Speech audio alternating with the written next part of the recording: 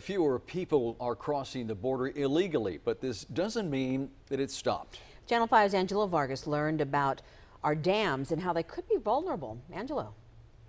This week, a photographer and I were driving through the Anzalduas Park. We noticed families crossing the Rio Grande, making their way past the Anzalduas Dam, up the levee, and into the park.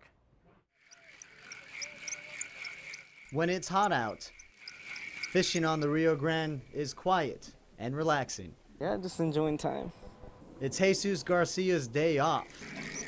This is his first time back to the Anzalduas Park since he was 12 years old. We used to come with my dad a lot. There used to be a lot more people, but now it's just empty ever since all that stuff started happening. And Garcia knows the dangers across the river. His mother lives in Reynosa, near the Anzalduas Dam. It's just scary. I mean, she calls me like every once in a while. There's gunshots. He fears the unknown from the people who cross through the river's current. It's just crazy. Like people just risk all that just coming across over here, and we don't even know if they're like dangerous or they're regular people. The Anzalduas Park's entrance is its exit. Earlier this week, we watched nine people, mothers and their daughters, enter the park. Exhausted and tired from their journey, they waited for local authorities and Border Patrol to arrive. Minutes later, our cameras caught four young boys enter the Rio Grande on the Mexican side. They carried what looks like some kind of styrofoam raft.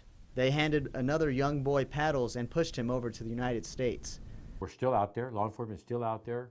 Uh, they're walking up to us now. They're no longer being chased. Hidalgo County Precinct 3 constables are the first line of defense. Precinct 3 Constable Larry Gallardo says people crossing on the pavement near the Anzalduas Dam is normal. Nothing's changed. I think I think it's uh, it's slowed down for a while, but there is still an effort to come across. Gallardo says their main concern is that drugs and criminals stay out of the park.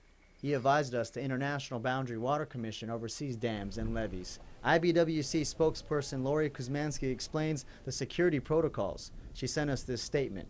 We call the local authorities and they do the apprehensions. We don't detain due to security reasons. As general policy, we don't disclose our security measures for safety reasons. Kuczmanski says just the dam and office are fenced in. Garcia says he's noticed an increase of law enforcement on this year's fishing trip. He hopes only to catch fish in the river and let the authorities worry about immigration. Constable Gallardo says they caught many people acting as if they were visiting the park. He says they will also continue to monitor the area and work with federal authorities to keep the park safe. Live in the Channel 5 News studio, Angelo Vargas, Channel 5 News at 6.